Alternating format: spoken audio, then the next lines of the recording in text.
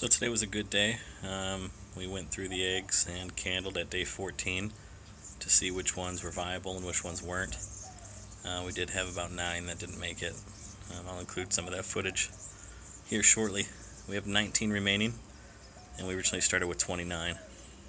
So our hatch rate right now is around 65% if all 19 were to develop and uh, hatch. We've stopped the turning. I've laid them out onto uh, paper towel on their sides. We've increased the humidity to 70% and the temperature, we haven't adjusted the temperature at all. So uh, we're expecting them to hatch here shortly. Stay tuned for the latest updates.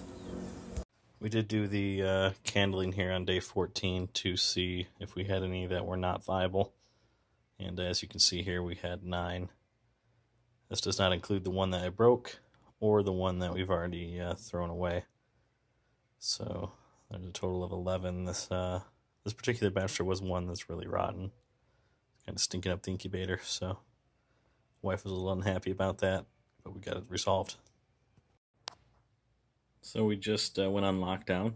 We're increasing the humidity to about 70%. We're still keeping the temp about 100.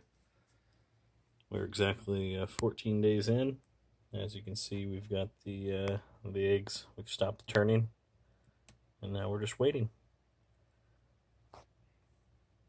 So I've got some bad news. I am uh, starting a four-day work week tomorrow, four 12-hour shifts.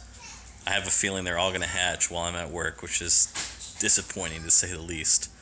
I will have Madeline on duty. She'll be in charge of uh, making sure that they hatch good. Uh, they don't have any complications, and they're moved to the brooder uh, as soon as uh, they're dried out. I will uh, upload as much possible footage as I can of the hatching.